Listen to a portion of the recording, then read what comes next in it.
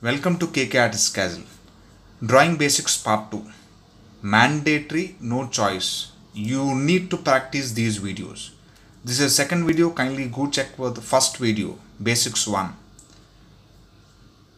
I've seen so many students facing trouble.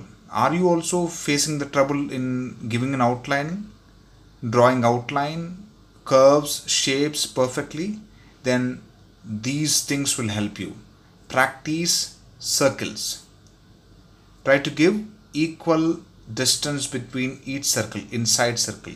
No hurry. Take time. Nobody's pushing you. Nobody's saying anything. Spend time. This is inside to outside.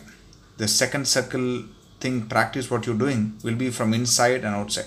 Now there is a there is a strokes which will help you to give a twist turns for leaves and other drawings.